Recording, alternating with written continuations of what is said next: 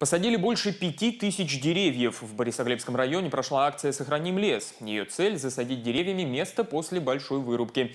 Теперь на пустой территории почти в 2 гектара растут новенькие ели. Эта акция всероссийская, проходит весной и осенью и входит в нацпроект «Экология». Весной этого года из-за пандемии она прошла в онлайн-формате, в ней принимали участие дети. Они выкладывали рисунки с деревьями в соцсети. А всего в регионе этой осенью появятся новые деревья на площади 150 гектаров. Еще сезон не закончился, да, но э, на 30% мы уже перевыполнили план э, по количеству посаженных деревьев.